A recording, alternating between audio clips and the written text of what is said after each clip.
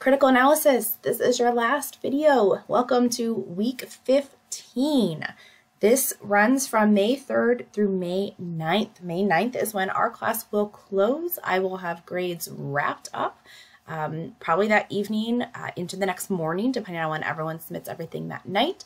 So uh, yeah, let's get started on our week 15 video and just some reminders and things as we we get ready to close up shop. Okay, so if I'm scrolling down to week 15, this is our final course review.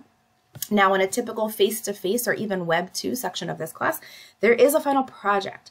Uh, but because this is my first time teaching this class completely web, mostly because COVID necessitated it, um, I did not build in the final project. So instead, there's like a final course review that's going to take its place. So you can see there's no materials folder because there's nothing extra in terms to review.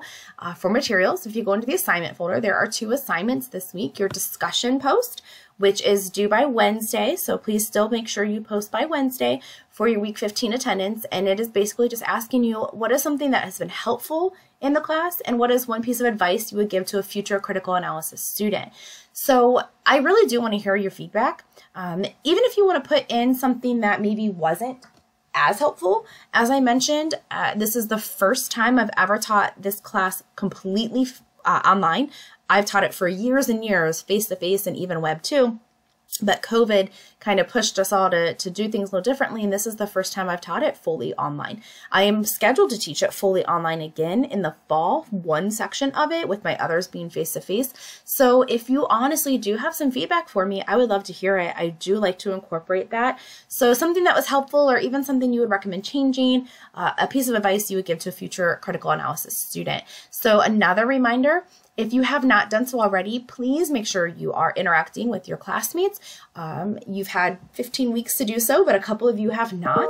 So this may be your last chance to uh, go in and respond to classmates and make sure that you are getting those, uh, you know, participation points. 10 interactions and I have a little tally chart that I keep so I know who's done it. If you've already done it, I've already entered your participation grade. So please make sure you do that. Okay, your course review packet, this is due on Sunday, May 9th. So this is your only assignment this week, course review packet. You'll open it up. It's going to open up into a PDF. Now this is from a text. I just scanned it in. Uh, I, I didn't convert it because honestly, it would have taken probably days to like type all this up and you convert it into a Blackboard uh, like test, so to speak. So I apologize for that. Um, so it's going to cover basically all the skills we talked about this semester. There are three tests, and I'm, I'm you can't see me, but I am using test in quotation marks because it's not like a test, it's more just a review for you to practice these concepts. There are three, test one, it has 10 questions, and you can see already, topic, main idea, there's vocabulary, um, there are patterns organization, conclusions, opinions, author purpose, audience. I mean, so this really does pull in the content from the entire class. Uh, there's test two, and you can see they're all based on the little selection, you know, just a few paragraphs. Test two is based off of this selection. There's 10 questions. And then test three is based off of this selection, and there's 10 questions. Now, how do you turn this in? And again, sorry, when I scanned it, some of the pages a little bit more crooked than others. How do you turn this in? So here's one suggestion. Open up a Word document, and you can just have this, come on now, you know, as you go. Test one and all the answers since it's multiple choice. If you wanted to, you know, write it on a piece of paper and scan that paper in or write it on paper first and then get in here and under write submission, you can copy over your answers after you've written them down. Whatever works for you, just make sure you submit that by Sunday the 9th. Um, for this course review packet, okay? And that's just one last chance to kind of just review and make sure you're um, going over and thinking about all the different concepts we've talked about in this course. So that is week 15. Nothing new to like teach. It's it's not a final exam, but it is the final like culminating kind of piece. So please make sure you respond to the discussion post by Wednesday for week 15 attendance interact with 10 classmates. If you have not done so already, that's a lot of interaction in one week, but um, it, it, might be for some of you your only chance to do that. and then your course review packet. Another couple reminders. Um, in week 13, I believe it was, no, 14, sorry, you saw your week one reopen.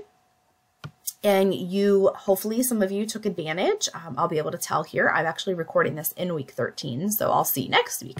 So week one is reopened in week 14 for anyone to make up work from that. You can see it'll be through the weekend, the Friday, Saturday, Sunday, April 30th, 1st and 2nd.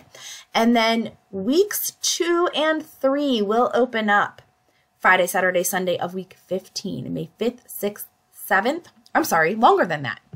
I'm giving you guys longer than that. Um, Wednesday, May 5th through the weekend to the 9th. Okay, so week two and three. Week two was on the language of college. Week three was on chapter one. So I really do encourage you, if you did not get work done early in the semester, please go back and um, take advantage of that. So it'll open up on Wednesday, May 5th through Sunday, May 9th. Sunday, May 9th, everything will close. There will be no more submissions, acceptance of late work, anything like that, which brings me to your mastery skills.